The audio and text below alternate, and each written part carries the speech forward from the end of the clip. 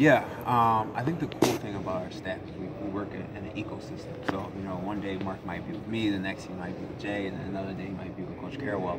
And he's such a, a unique talent. Uh, you want to put him, you don't want to limit him to where he is on the floor. Uh, he's really smart. Um, and so I think one of his biggest skills is just being a basketball player. Um, he can do so much on the court, uh, and he knows how to cut. He knows how to play. He knows how to read screens.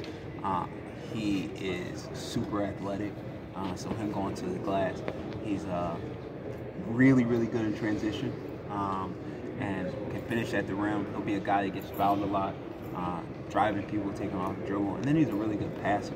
Um, so for me, it's just a lot of skill work, not limiting his game, um, making sure that he can do any and all things on the court and that he's comfortable doing it. Um, he already does a lot of things at a high level, so it's just you know fine tuning that.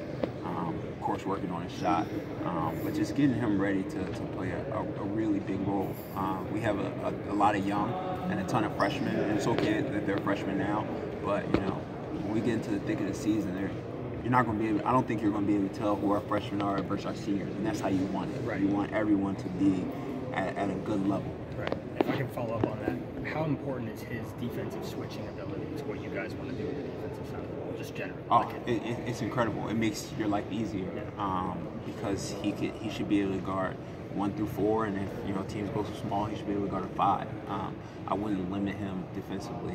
Uh, he's long. I already said he's smart, he's tough, he can move his feet really well, and he competes. And I think the biggest thing, one of the biggest thing about you know defense is competing in multiple efforts. Of course, there's technique, um, but if you compete and you don't give up on plays and you go from one thing to the next in a stance um, with a good mindset, uh, you, you have a, a, pretty good chance of being a solid defender. And I think he, he has all those things. Is Jeremy ready to lead this team? For sure. I mean, the steps he's taken uh, I'm really close with Jeremy, mm-hmm. um, and of course that's my guy. I spent you know all last season with him, and you know I think what he did in, in the tournament uh, up into where he is now, he's he was unbelievable then, but he's taking an even bigger jump, and he wants to be. I think that's the big, the biggest thing. He has um, embraced that, and so still coming along. Uh, I wouldn't want him to be where he needs to be today because uh, he still has so much room to improve.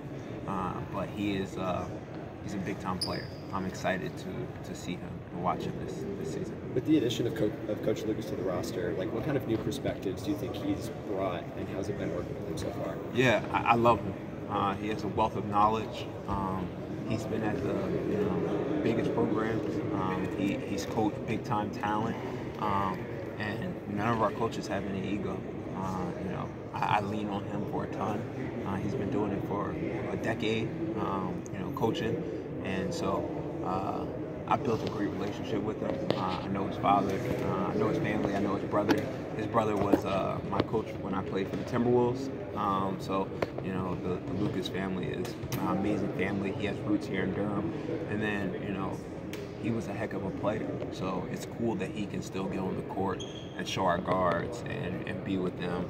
Um, so you know, it's a big gift for us, uh, and I really love working with him. Being close with Jeremy, how rewarding was it last year to see him kind of go through some of the struggles he did and then break out at the end of the year? It was big time um, because one thing about Jeremy is he's a, a hard worker.